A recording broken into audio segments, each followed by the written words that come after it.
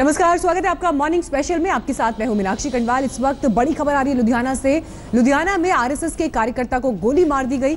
गोली मारकर इस कार्यकर्ता की हत्या कर दी गई। वारदात को अंजाम देने के लिए दो हत्यारे बाइक पर आए थे। हालाँकि हत्या के बाद ये दोनों फरार हो गए। सत्येंद्र चौहान इस वक्त मौजूद है और जानकारी के साथ। सत्येंद्र, घटना को लेकर और क्या जानकारी मिल रही है?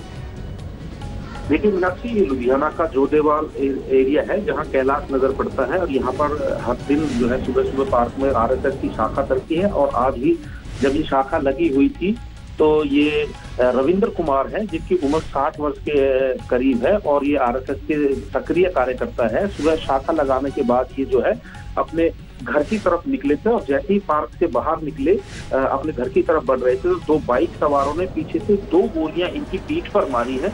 इनकी मौके पर मौत हो गई है। पुलिस फ़िलहाल मौके पर पहुँच गई है। किसी को अभी तक गिरफ़्तार नहीं किया गया है। पुलिस आपसे जानकारी आगे लेंगे। शुक्रिया सत्येंद्र आपका इस जानकारी के लिए।